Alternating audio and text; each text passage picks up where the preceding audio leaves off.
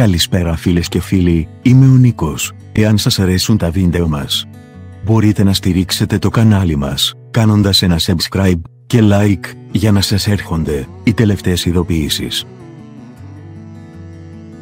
Μετά τον γάμο της Μαρίνας και του Μάνου, η μικρή Αγγελική βγαίνει από το ίδρυμα και τρέχει στην αγκαλιά τους.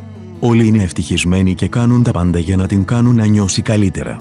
Η Δάρνα είναι κοντά της, με αποτέλεσμα η μικρή να αισθάνεται οικία. Η Μαρίνα αισθάνεται περήφανη για το βήμα της και φροντίζει να γίνει φίλη και μητέρα μαζί. Ο Μάνος είναι πολύ ανακουφισμένος με το αποτέλεσμα. Μόνο που κάποιο σύντομα θα εναντιωθεί σε αυτή την ευτυχισμένη οικογένεια. Όλοι προσπαθούν να μην φτάσει η αλήθεια στα αυτιά της μικρής. Η Αντιγόνη την προσεγγίζει φιλικά, σαν φίλη της Μαρίνας, δίχως αποτέλεσμα. Η μικρή την διώχνει από κοντά της, της λέει πως δεν θέλει να την αγκαλιάσει. Η καρδιά της Αντιγόνη θρηματίζεται, σύντομα η σχέση της με την Μαρίνα θα αλλάξει ριζικά. Δεν θα αντέξει να βλέπει την μικρή να φωνάζει μαμά μία άλλη γυναίκα. Όσο και αν η Αντιγόνη προσπαθήσει να προσεγγίσει την μικρή Αγγελική, τόσο θα βρίσκει τείχο. Η οικογένεια θα διχαστεί και η μικρή θα βρεθεί στη μέση.